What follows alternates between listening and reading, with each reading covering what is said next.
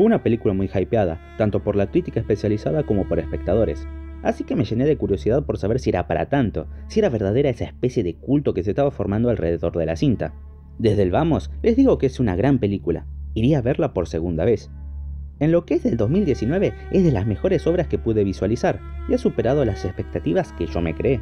Esta es una historia triste y oscura. Joker nos presenta a Arthur, un comediante que intenta dar gracia.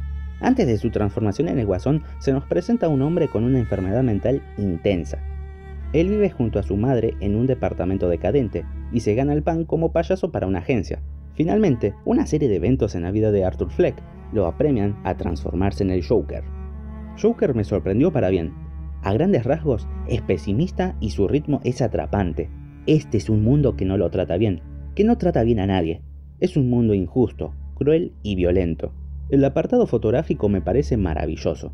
La paleta de colores es excelente. Es notorio que Scorsese tuvo que ver en la producción. Que se hayan basado en el diseño de Taxi Driver es muy acertado para contarnos este relato. Es perfecto para mostrar la decadencia de la ciudad, donde los poderosos son cada vez más poderosos y los pobres son cada vez más miserables. Es una ciudad que pide a gritos un cambio, y ese cambio se llama Joker. La elección de la época, los años 70, no pudo ser mejor, los años donde la gente estaba furiosa, negativa y violenta.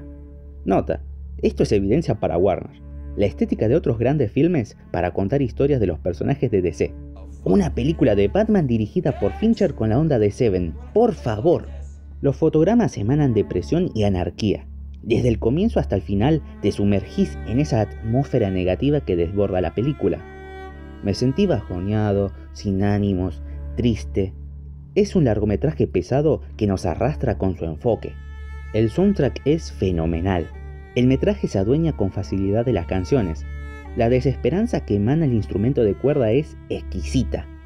Todo el diseño sonoro se desenvuelve de forma magistral, en especial con los brotes de locura. Nos adentramos, somos empujados a la cabeza del protagonista. Ah, a ver, no es algo que no se haya visto nunca. No estamos frente al ciudadano Kane o el padrino, pero de lo que ya conocemos dentro de la industria, está todo muy bien empleado, y en el género de los superhéroes es un respiro de aire fresco. Se desarma al Joker, se lo reconstruye para convertirlo en algo infeliz y doloroso. El guion está muy bien trabajado, con unas buenas vueltas de tuerca. Es un revival muy efectivo.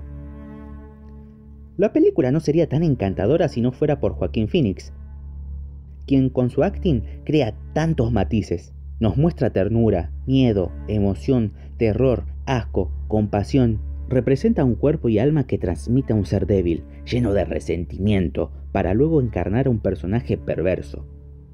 El mano a mano entre los personajes de Joaquín y Robert es bestial. Su discurso sobre la moral y los gustos es genial. Tiene frases espectaculares. Es interesante cómo podemos empatizar con este personaje a pesar de sus cuestionables y controversiales acciones. La idea de la risa dolorosa es tan certera que da justo en el pesimismo. El enfoque que le dieron a la historia me parece muy correcto. Se aleja mucho de lo que nos estaban mostrando. Eso la hace única. Es una producción que merece ser vista sentado en la butaca. Si no la vieron, dejen de ver este video y vayan ya mismo al cine, que es una gran inversión de tiempo y dinero.